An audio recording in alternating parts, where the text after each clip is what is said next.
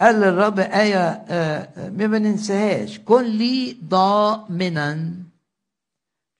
أنت اضمن بقى إن بكرة ما اعانيش زي ما عانيت الوقت. شافتني بس ممكن آه، المرض يعود مرة أخرى. رب قال للمرأة أنا أنت صحيحة. معناها يعني المرض مش هيجي لك تاني. أنا عايز ضمان إلهي للمستقبل. فصلى عن احتياج لأن الشيطان بيخوفه.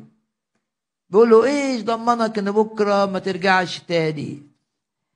فصلى وقال كن لي ضامنا.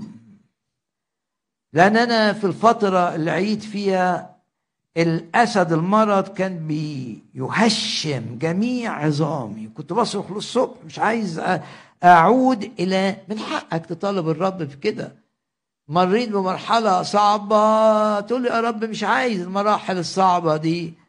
اعمل زي آه، آه، حزقية وقول للرب كن لي ضامنا.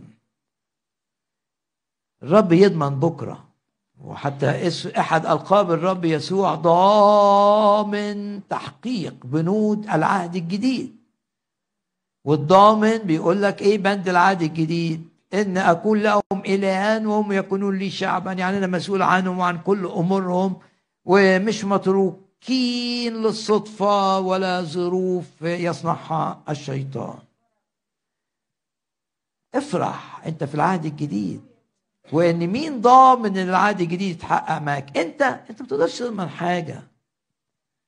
لكن أحد ألقاب الرب يسوع العظيمة في الرسالة إلى العبرانيين ضامن العهد الجديد.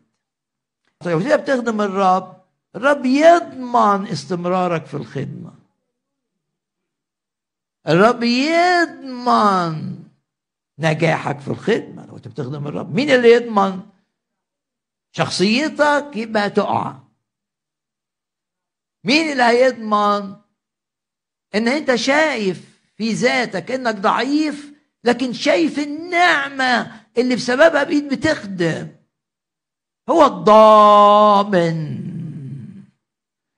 ومهما يعني يقول لك هبات الرب بلا ندامة. يعني رب ما غلطش لما اختارك خادم ليه ثق في الرب.